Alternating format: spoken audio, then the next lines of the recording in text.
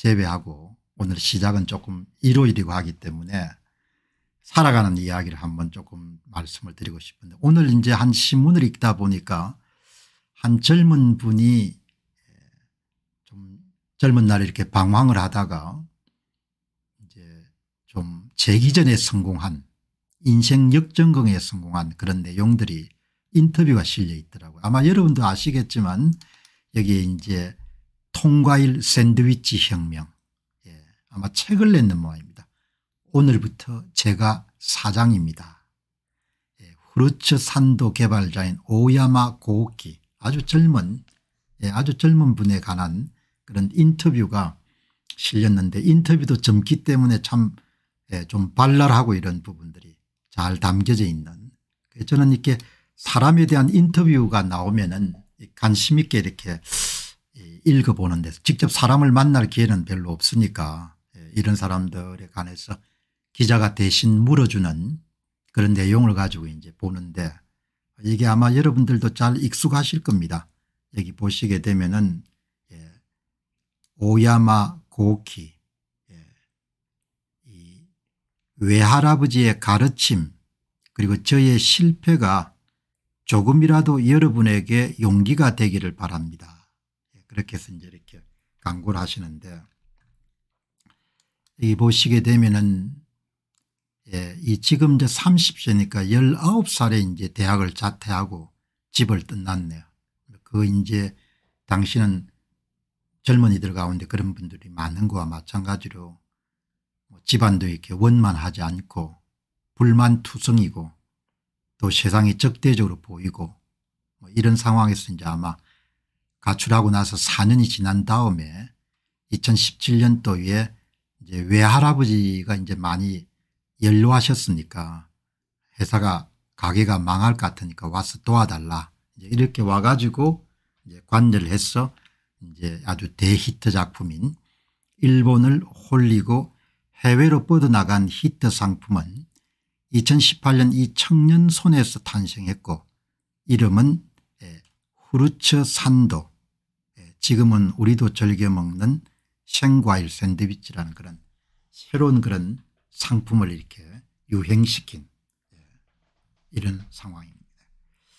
자, 이 보시게 되면은 이제 외할아버지고 어린 시절인데 이제 아마 황소 자리에서 책이 나온 모양입니다.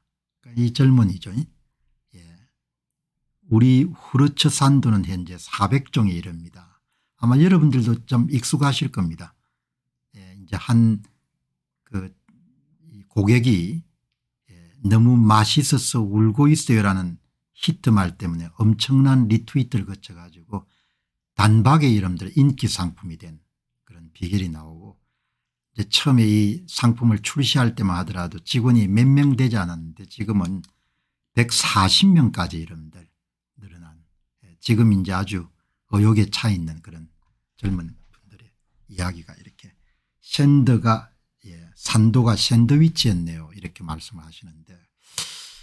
자 뭐 이게 굉장히 긴 인터뷰입니다. 긴 인터뷰인데 그 인터뷰 가운데 제가 특별히 주목한 것은 사람이 살아가면서 이제 어떤 자세를 갖고 살아야 되는가. 이제 이 약간 30세 젊은이가 사는 방식에서 하나의 이제 그런 제 아이디어가 있는 겁니다. 그리고 또 사람이 어려움에 처하게 됐을 때 어떻게 처신해야 되는가 이런 부분에 대해서 예, 이 젊은 분이 직접 말씀을 안 하셨지만 이 젊은 분의 인터뷰에서 내가 떠오른 생각을 여러분들에게 꼭 말씀을 드려야겠다 이렇게 생각이 들거든요. 여기 보시게 되면은 예. 처음에 시작할 때는 뭐 시금치하고 열무도 구분하지 못하는 사이로 시작을 했는데 예. 여기 보시게 되면은 처음에 이제 야채 도감을 사서 읽기 시작했고 저는 일단 무엇을 맡으면은 걱정이나 불안은 옆으로 밀치고 하면 되지 않을까라는 낙관하는 성격이 있습니다. 예. 그 다음 이야기가 참 제가 주목한 부분인데 기자가 묻습니다. 예. 막막할 때는 화장실 청소를 했다고요? 이렇게 아마 책에 그런 내용이 나오는 모양입니다. 예, 그러니까 이 뭐라고 이야기하는 거 하니까 내 화장실을 청소해야지 하다가 그냥 볼일만 보고 나오면 마음이 찜찜하지 않습니까 그래서 어제도 청소를 했습니다. 별것 아니지만 그 행동이 성취감이나 자신감과 연결되어 있는 것 같습니다. 이렇게 이제 이야기를 했거든요. 글을 읽는다는 것은 글을 쓴 사람의 반응을 보이는 거지 않습니까?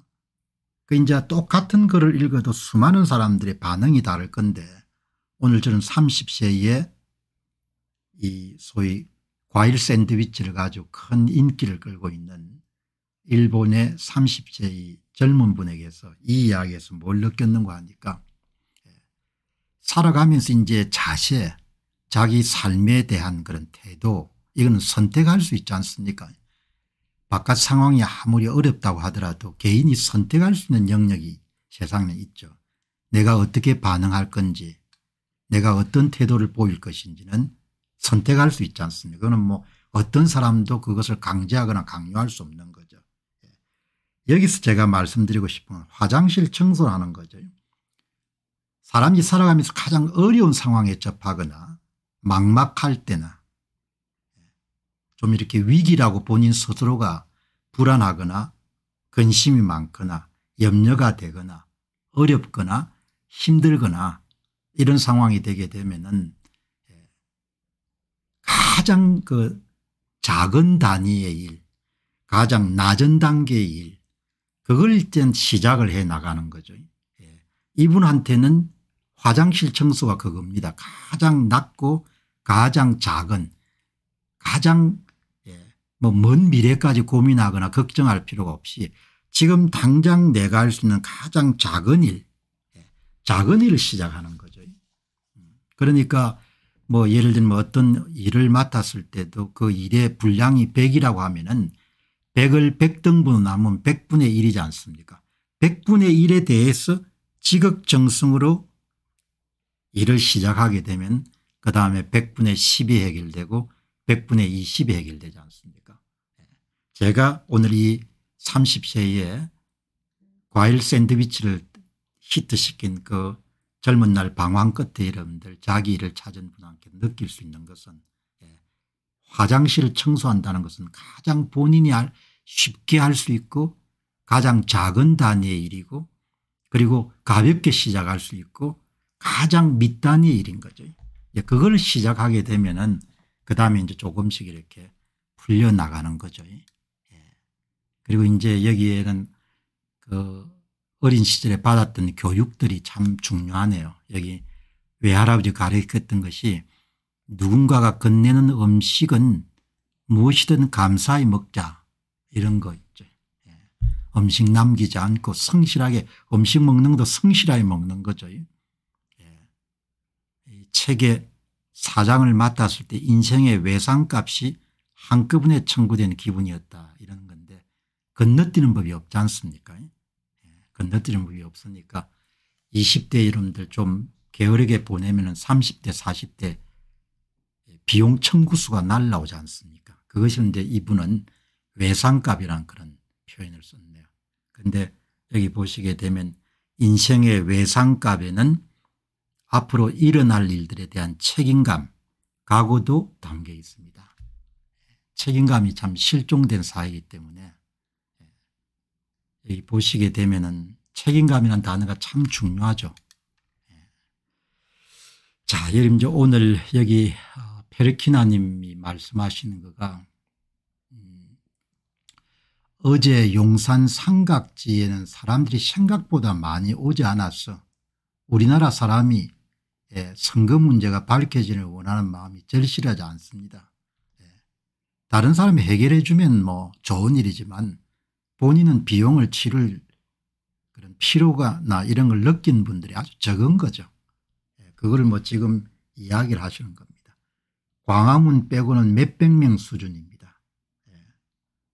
그러니까 저는 이미 뭐 예상했던 일이고 예. 그러니까 여유 있는 나이 든 사람도 절실하지 않는데 젊은 사람들이 살아남을 방법을 먼저 강구하겠습니다. 뭐 이렇게 나오는데 젊은 사람들은 관심이 없는 거죠. 예. 나라가 뭐 어떻게 되는 것은 그거는 공동 전체가 다 부담해야 되는 일이고 본인 앞가름하기도 힘들다고 생각할 테니까. 예. 그뭐 정해진 길이고 예상한 길이고 그런 거죠.